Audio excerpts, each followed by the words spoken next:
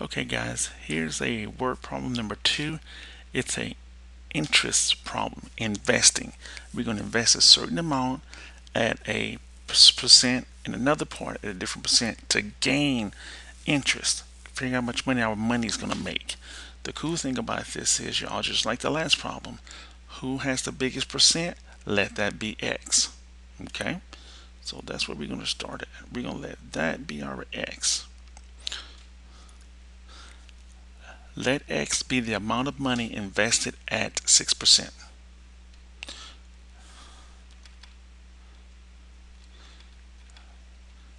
Let X be the amount of money invested at 16%.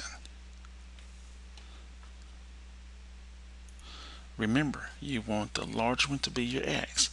Okay, so we have X at 16%.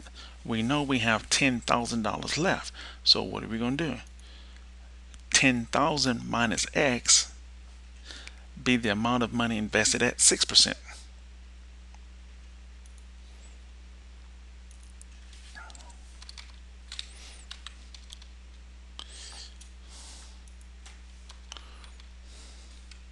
See, you know, that wants to be 10,000 minus X.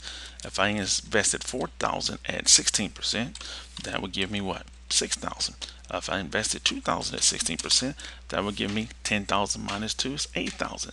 Now you set up, now you have your pieces. Now, what's the first equation going to be?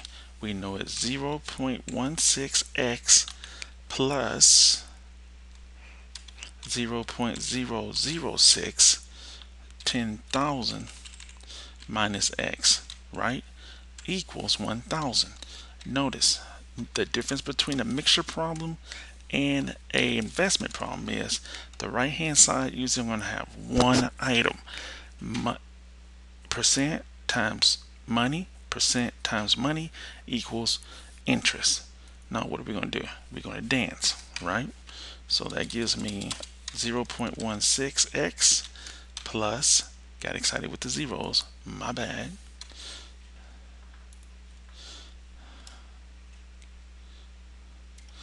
Plus,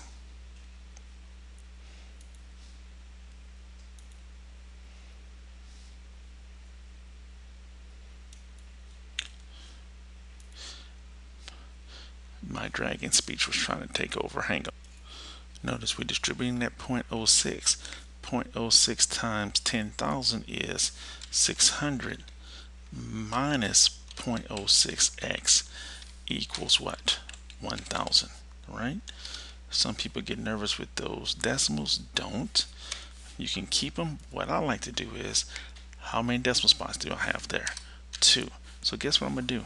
I'm going to move his decimal over twice. So that becomes 16x. Move his decimal over twice. So it's 1, 2, 60,000. It was 600. Add two zeros because I moved the decimal. Move this guy's decimal over. becomes 6x equals 1,000. Add two zeros. Right? And look how cool that is. That makes everything nice and pretty. Cool. Oops. Let's move that. It's not to let me move it, so I'm not. Let's see if it's to let me undo it. Oh, dang it. So let me keep it. So I'm to keep it here so I'll type it again. So now, if you notice what happens now is, you now have what? Linear equation, letters left, numbers what? Right. So that 16,000 must cross the bridge, right, and become negative. Cool.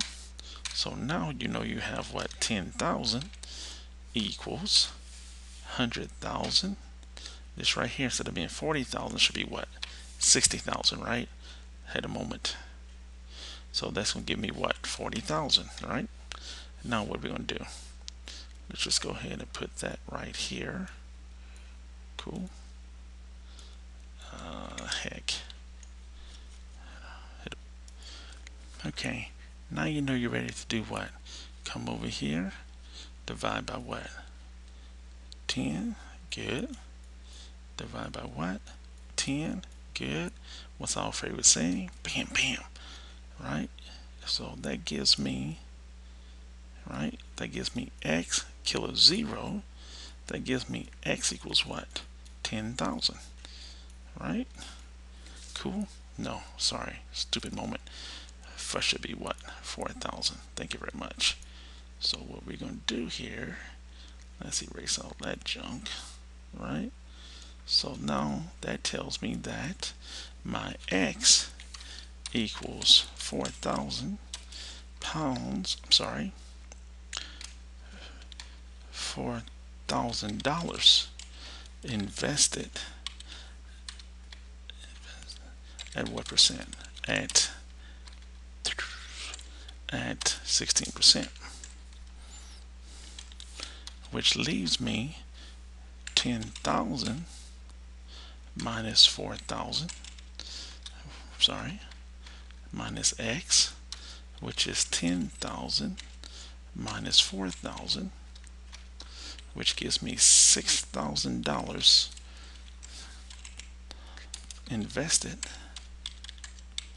at what?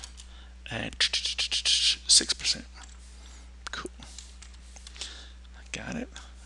Not too bad. Just got to go over them, go over them, go over them, go over them till you own it. Got it. So what we're to do right here is sneak it right there. Kill that. That looks wonderful. I like. So remember, investment problems. Who always goes first? The largest interest. I don't like decimals. So right here, I did what? Move his decimal over twice. If I move his decimal over twice, I got to move his decimal over twice. His decimal, his decimal. Whenever you have a number like 600, the decimal is already here. So when you move it twice, you're adding what? Zeros. I know somebody's gonna have a question on that, so that's why I went ahead and took care of it. Don't talk about my zero, like a smallest mice. Alright, that one's done.